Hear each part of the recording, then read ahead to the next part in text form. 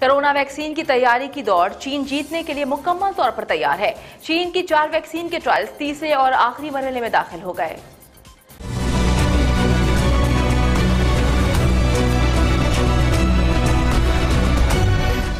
दुनिया में corona vaccine मुतारफ कराने वाला पहला मुल्क बन सकता है। बरतानवी रोजामा टेलीग्राफ की रिपोर्ट के मुताबिक। दुनिया भर में नौ कोरोना वैक्सीन ट्रायल्स के तीसरे और आखिरी मरहले से गुजर रही हैं और इनमें से चार चीन की हैं, जबकि चीन की जानब से हालिया दिनों में कोरोना वैक्सीन के हवाले ऐसी कई मस्बत ऐलान किए गए हैं।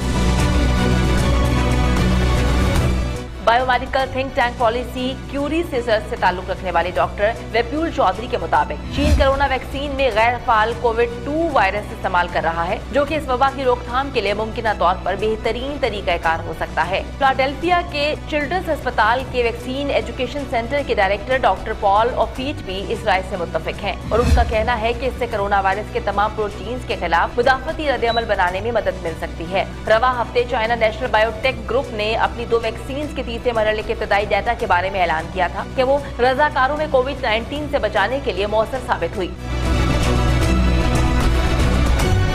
ग्रुप के सेक्रेटरी जाओ सूंग के मुताबिक वैक्सीन से एक फर्द को मुमकिन तौर पर तीन साल तक कोरोना वायरस से तहफ़ मिल सकेगा। चीन की जानब से कामयाब वैक्सीन को दीगर ममालिक को भी फराहम करने के वादे किए गए और चीनी कंपनियों की जानब से वहाँ वैक्सीन के ट्रायल्स भी किए जा रहे हैं। उधर वैक्सीन की बड़ी तादाद में तैयारी के लिए एक नया कारखाना तामीर किया जा रहा है, जबकि सेनोविक की जानब से भी बीजिंग में एक नया प्लांट तामीर किया जा रहा है, जो सालाना तीस करोड़ डोज तैयार कर सकेगा।